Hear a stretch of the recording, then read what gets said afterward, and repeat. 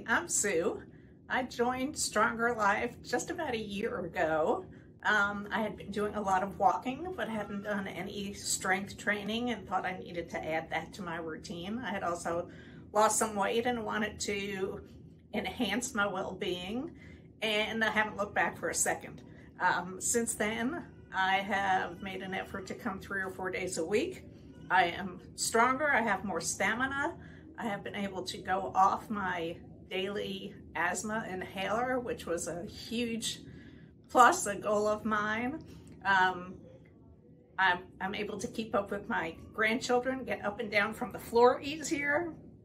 Uh, I've made great new friends. This is the most supportive exercise venue I have ever been to. Everybody encourages you and cheers for you and the only competition is with yourself to keep doing better and better and better. Well, this summer I went tubing with my grandkids on uh, Lake Lanier outside of Atlanta. Have not done that maybe ever, but definitely not in years.